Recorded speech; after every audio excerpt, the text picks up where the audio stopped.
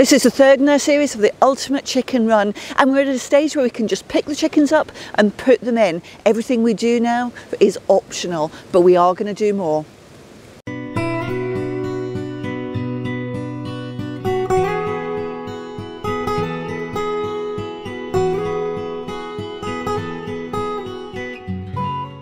Hello, welcome to English Country Life. My name's Hugh. Together with a fabulous Fiona, I run a small holding here in rural Lincolnshire. And in rural Lincolnshire, it gets really windy. Today it's heckish windy. We're doing everything we can to minimise the wind noise, but you're probably going to hear it howling through the trees in the background. I'm sorry about that. We'll do the very best we can. Anyway, today, this video is all about our ultimate chicken run. This has been a big project for both of us this year, and we're putting together what we consider to be the ultimate chicken run for a number of reasons. But a lot of the things that prompted us to it is for a number of years we've been having housing restrictions because of avian influenza and we've improvised solutions and they've been great but ultimately they're temporary solutions and it's now happened often enough that we think as part of our responsible chicken ownership we need a permanent solution that we can easily move the birds into anytime that kind of thing happens but there's lots of other reasons to have a good chicken run as well. They represent brilliant security against predators, both aerial and land-based. They're also fantastic for containing your flock if you don't have a safe, sensible area to free range. So there's all sorts of good reasons to have them. Today we're going to walk you through our finished design because we've put together the run now, it's complete. We're going to talk about our choice of coops to go inside that are right for our flock's winter's quarters. And then I'm going to talk to you a little bit more about some of the other security measures that we're going to put in place.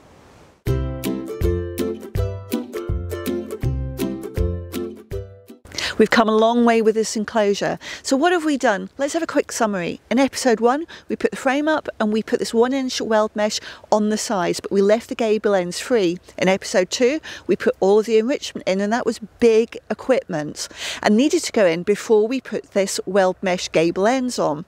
And that's what we've been doing. So in episode three, we have finished it off and we can now talk about all of the key features. And one of the main things is security for the chickens inside because we have extended the weld mesh significantly away from the frame. And why would we do that? Well, Mr. Foxy comes along, wants to get in and our lovely little fluffy chickens on the inside. Now the only problem is he's got to dig underneath to get in. Usually foxes will dig as close as possible because that's the least amount of effort, but because we've extended the weld mesh out, he's going to find it much more difficult. And the more likely likely scenario is Mr. Fox is going to go hunting for much easier prey. Now, the other big thing which we've done is we have chosen to put doors in either end of this enclosure. And why have we chosen to do that? Well, it's for practical reasons. So the morning routine for me is always to a poo pick in the coops because I like our fluffy little chickens to be in clean areas. So I leave the house, go in the door at the other end, and I'll pick the coops for all of the poop in there and then I need to get to the compost areas. And where are the compost areas? Well, they're at this end, near the field where the chickens free range at the moment. Now, unfortunately, um, Hugh and I have come up with a slight flaw in the plan while we've been filming because I realise we've got bolts on the outsides of the doors. Now, if I'm coming in the door at the other end and I need to get out of this door, how am I going to get out when the bolt's on the outside? And how am I going to secure the door at that end when there's no bolt on the inside? So we have got a little job to do for ourselves, which is to put bolts inside and out. Now, it doesn't matter that there's two bolts because only one of them is going to be closed over at any one time. So when I come into the area in the morning, I'm going to unbolt the outside bolt in the door at the far end and then close the inside bolt to secure it undo the inside bolt at this end and close the outside bolt at this end. Then I'm going to empty all of the compost. But then I'm going to walk back through so that by the time I actually come in to do the same routine the following morning, the two bolts which are closed over, the inside bolt at this end and the outside bolt at the other end. Trust me, it does work, but I wish we'd thought of that before we started filming this segment. But you live and you learn.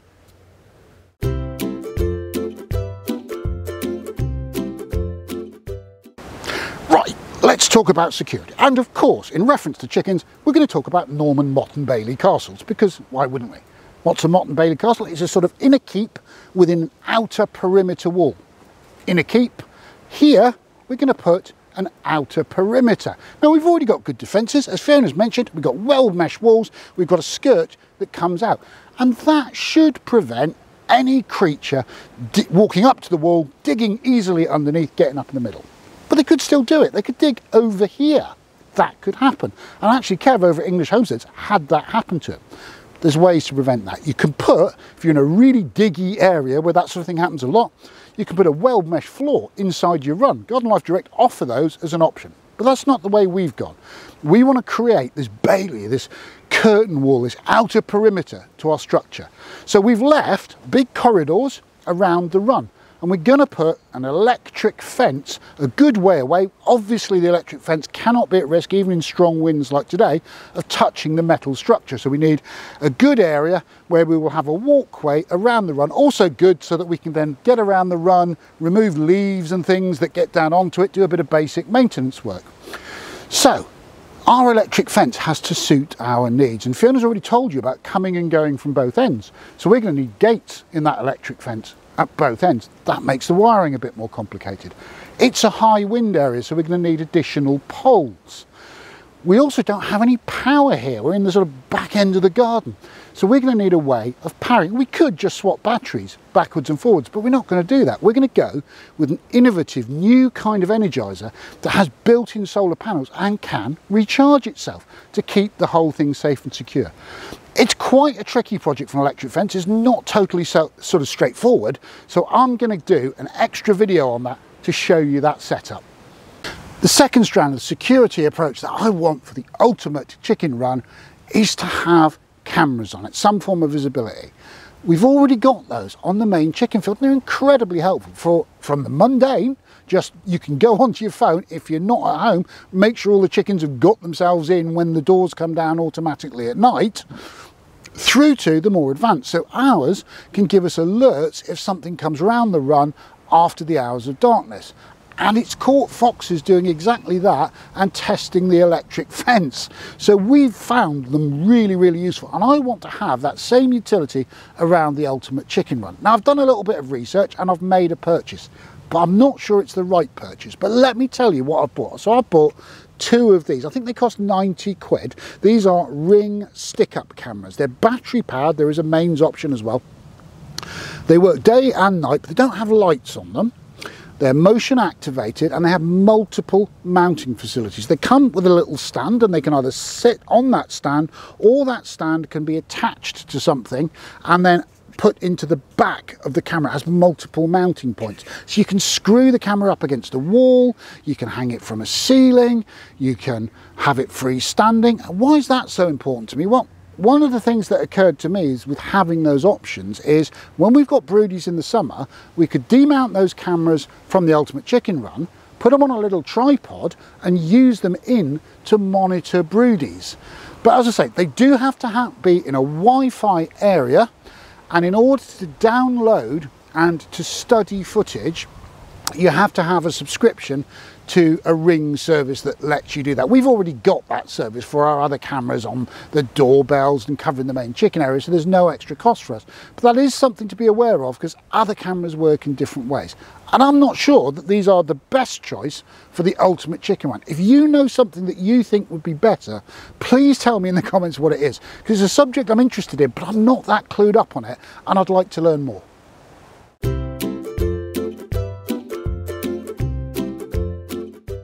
Let's have a look at coops. So what have we chosen for this ultimate chicken run? And regular viewers of the channel are not going to be surprised that we have chosen two Nestera coops.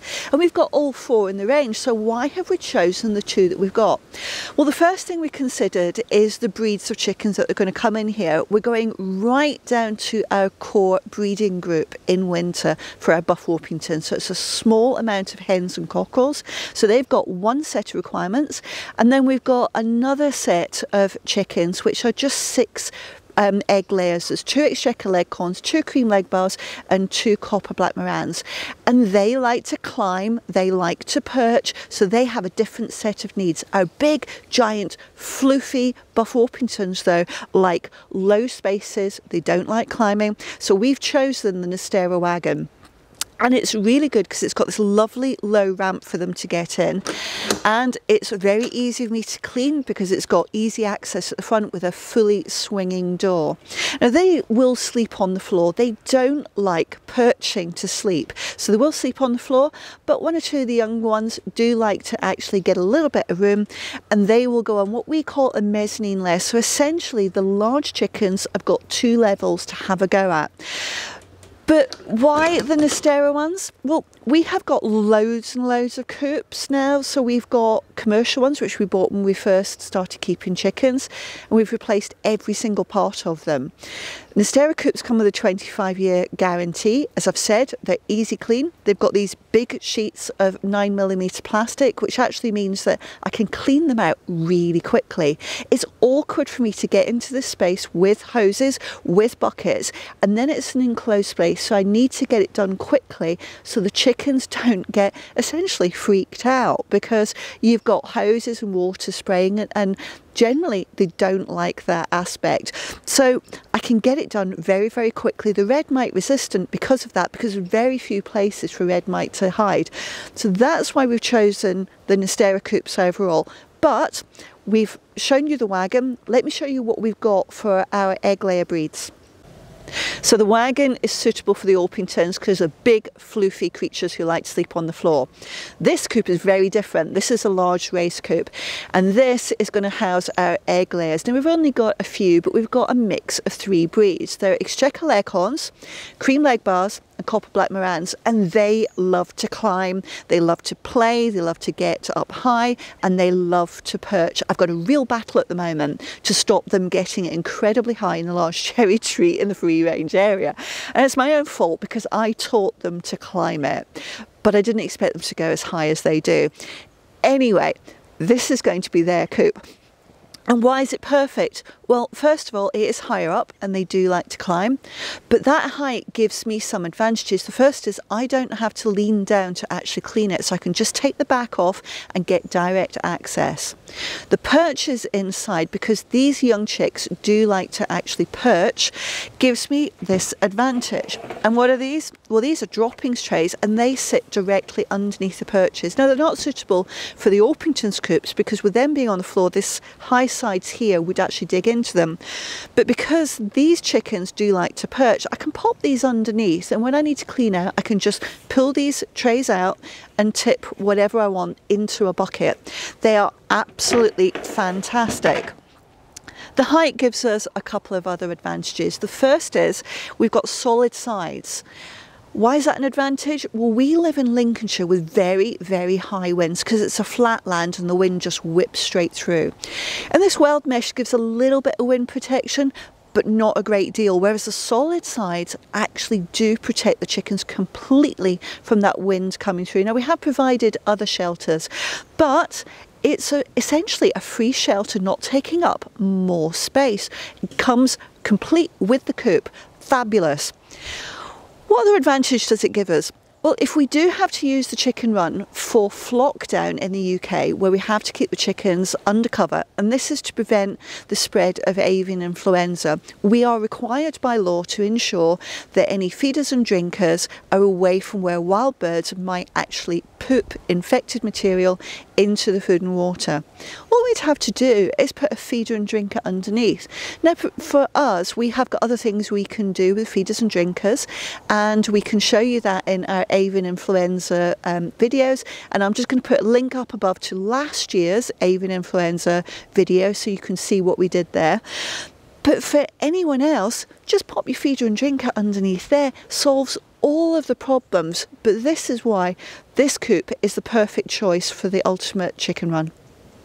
So that is the run part and the major fit out of the interior of our ultimate chicken run. Two very different coops for two very different types of birds.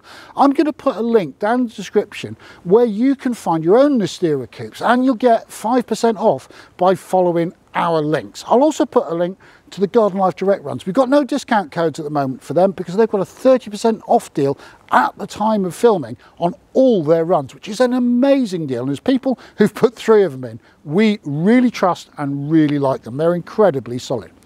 I'm also going to put a link down there to the ring cameras that we chose and bought. I'm not certain they're the very best choice for CCTV for chickens because I don't think many people have thought of it that way. And if you know a lot about that subject and you know a better option, please let me know in the comments what it is and preferably link to it so I can go and have a look and educate myself.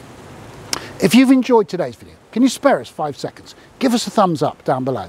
If you'd like to see the next episode, which will be on the whole setup for the off-grid, self-managing electric fence, then click on subscribe down there and the bell next to it, and you'll hear every time we upload a new video. It's a completely free service.